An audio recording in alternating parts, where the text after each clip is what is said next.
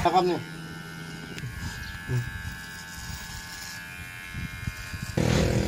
นี่ต้องชิ้นคงชิ้นเลย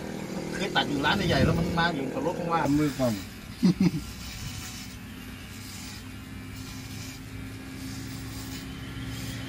พี่ตัดอย่างนี้ยวันหนึ่งมีรายได้ประมาณเท่าไหร่เนี่ยตัวนี้ยังไม่แน่เพราะเขาอยู่โต๊ะกันเขารู้นะ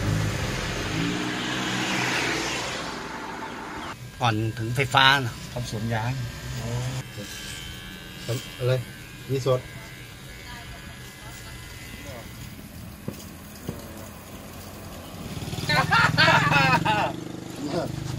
รถสองชีพเติมดีกว่า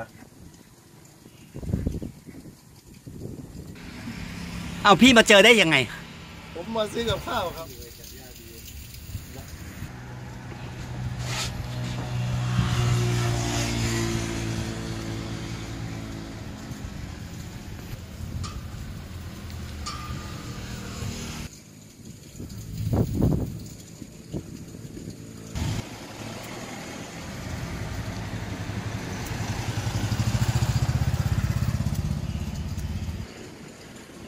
ช้บริการเยอะไหมครับ ก็ดีอยู่ครับเยอะอยู่ครับ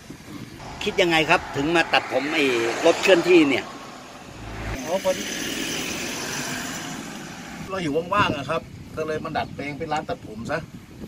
มันจะใช้ประโยชน์รถเราก็ไม่ได้เททิ้งไม่ได้จอดทิ้งเฉยๆครับขอบคุณมากครับครับผมขอบคุณครับขอบคุณครับเยี่ยมครับนะเชื่อไหม